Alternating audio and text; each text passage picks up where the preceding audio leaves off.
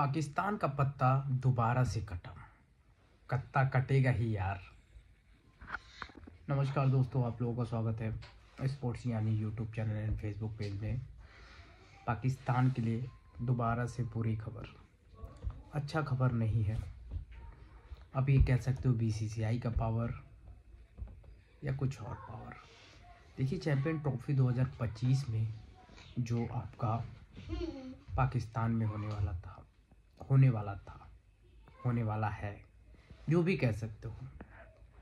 अब देखिए, उसमें बहुत बड़ा लफड़ा हो गया। बीसीसीआई अगेन से एक रोड़ा आ गया है। बीसीसीआई ने मतलब बीसीसीआई ने फिर से आईसीसी को बोला, भैया, मेरे प्लेयर्स मेरी टीम पाकिस्तान नहीं जाएगी।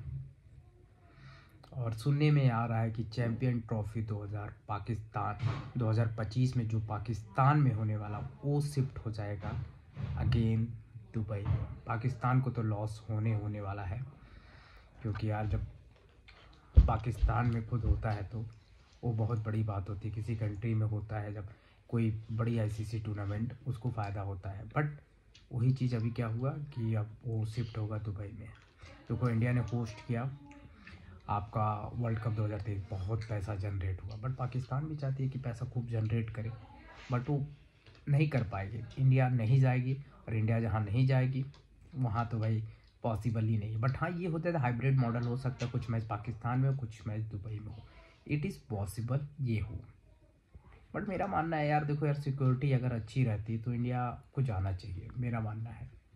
क्योंकि यार, पाकिस्तान भी हमारी पड़ोसी है और ठीक है अपने एक बहुत बड़े बहुत बड़े दिक्कतों से घिरी हुई है चावल दाल आटा पैसे की कमी है इंडिया जाएगी तो उनका प्रॉफिट हो जाएगा। बट हाँ मेन बात है सिक्योरिटी कंसर्न अदर कंट्री आने का इम्पैक्ट नहीं है बट इंडियन कंट्री जाती है ना तब इम्पैक्ट पड़ सकता है क्योंकि ये इंडिया और पाकिस्तान में बिगेस्ट फाइट होता है ना ये प्रॉब्लम है। बट आप लोग क्या सोचते हो? कमेंट बॉक्स में ज़रूर लिखिएगा तब तक के